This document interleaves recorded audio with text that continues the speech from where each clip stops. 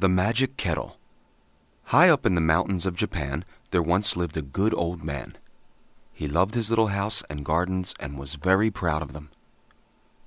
One day he was looking across at the mountain when he heard a rumbling in the room behind him.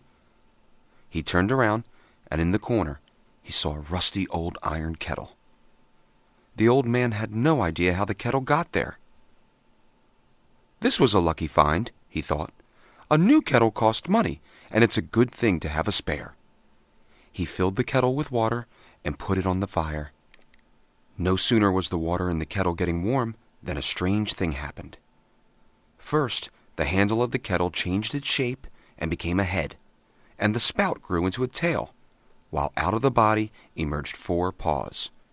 In a few minutes, the man found himself watching not a boiling kettle, but a kind of animal called a tanuki. He cried to his neighbor for help, and between them they managed to capture the tanuki. They sat, trying to decide what to do with this bothersome beast. They decided to sell him to a tradesman called Jimmu.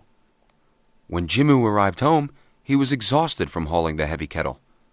In the middle of the night, he heard a loud noise. When he raised himself to look, he saw the kettle had become a tanuki, which was chasing its own tail.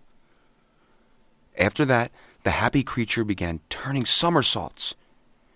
Jimmu didn't know what to do about this odd situation, so he decided to sleep on it. When he awoke, however, there was no tanuki, just the kettle. Jimmu decided to build a booth where people could come see the kettle. Jimmu would command it to become a tanuki, and then day after day, the booth would be so full it would be hardly possible to enter it. Jimmu became a rich man, yet he did not feel happy. He was an honest man and felt he owed some of the money to the good old man who had sold him the kettle. The man thanked Jimmu and said that few people would have been so honest.